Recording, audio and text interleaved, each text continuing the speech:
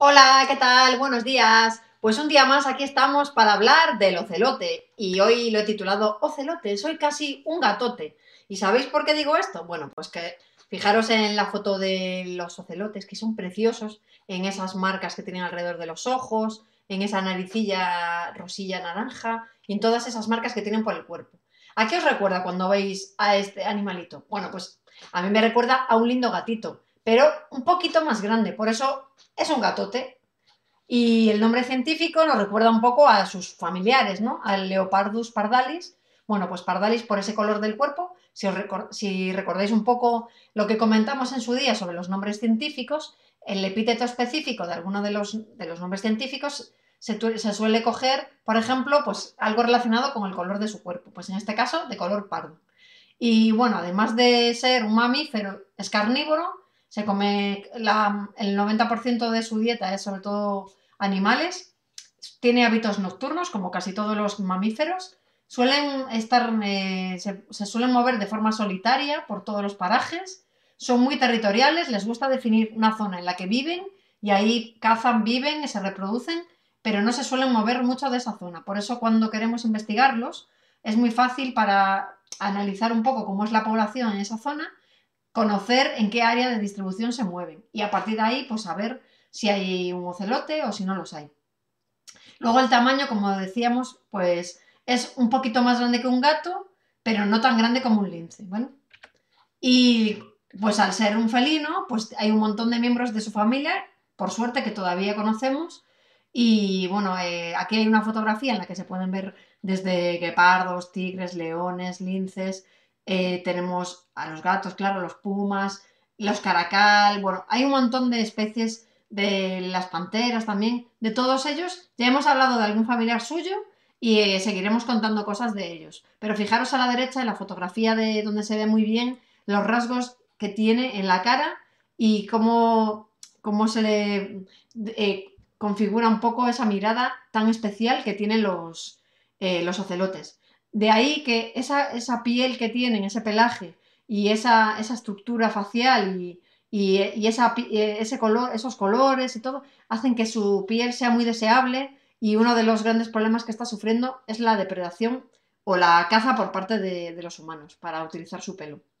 Y luego unas zonas eh, muy interesantes en las que viven son los ambientes tropicales, les gusta vivir en selvas húmedas, como la que tenéis aquí a la derecha.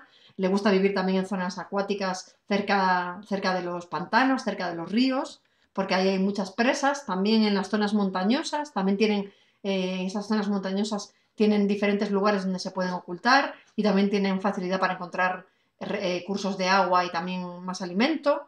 También les gusta vivir en algunas de estas zonas desérticas en las que no falta el alimento pero tienen unos climas un poquito más extremos, también viven en pastizales y luego pues comen un poco, bueno, de vez en cuando comen pasto, por eso os decía que el 90% de su dieta es carnívora, pero luego también les gusta comer murciélagos, pequeños roedores, zarigüeyas, también se comen monos allá donde pueden encontrarlos, claro, siempre tienen que encontrar una presa que es un poco más pequeño que su tamaño.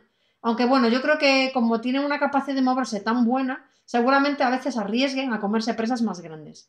También se comen reptiles, le gusta comer, por ejemplo, en la fotografía de abajo a la derecha veis que lleva una iguana en sus fauces. También se comen serpientes y también se comen a veces las tortugas y los huevos de tortuga. Si se encuentran una tortuga poniendo huevos, pues se comerá a la tortuga. Y, y también los huevos, claro. Y si se encuentra solo la puesta, pues se comerán los huevos. Bueno, lo que haya, ¿no? Y también les gusta cazar aves. Les gusta investigar, saltar y cazar aves porque son muy buenos trepadores, les gusta trepar a los árboles y también les gusta nadar. O sea que en realidad les gusta y pueden hacer eh, un poco, moverse en un montón de ambientes que les permite siempre tener un montón de recursos para alimentarse.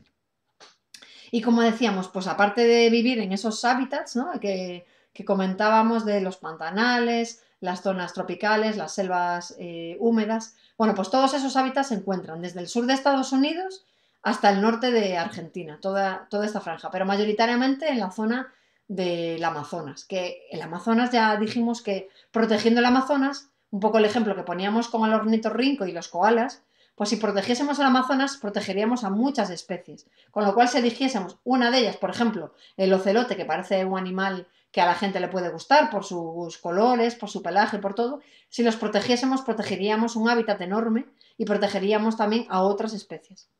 Bueno, fijaros que además una característica muy interesante de su cuerpo es eh, relacionada con su capacidad para ser buenos cazadores y buenos acechadores, porque para ser buen cazador tienes que ser muy rápido, o tienes que tener unas fauces muy buenas, o tienes que tener mucha, eh, una corpulencia bastante grande, o también pues ser hábil. Y ser hábil consiste en pues, eh, deslizarse muy despacio para que las presas no se asusten. Y una cosa que, que les ha permitido ser tan hábiles es la disposición de esas almohadillas en las patitas de sus pies. Bueno, pues con esas almohadillas se pueden desplazar sin apenas hacer ruido.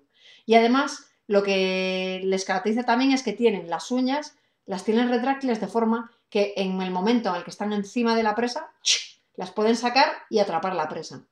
De esta forma, cuando buscamos eh, huellas de ocelotes y estamos investigando, vamos a encontrar siempre una huella en la que no hay uña, porque la uña está eh, metida dentro de esa cápsula, está retráctil, y además vamos a encontrar siempre esas almohadillas, la, huella que dejan las almohadillas en el suelo.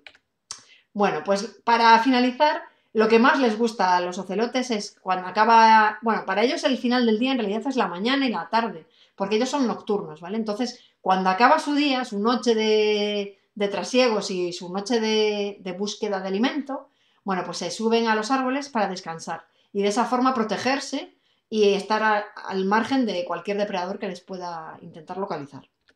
Y nada, con todo esto seguramente tendréis un montón de preguntas o curiosidades que contarme sobre los ocelotes. Recordad que aquí tenéis mi correo por si queréis contarme alguna cosita. Y quería, como siempre, agradecer a todas las páginas web que he consultado y todas las fotografías que he tomado. Así que nos vemos dentro de poco. Hasta próxima.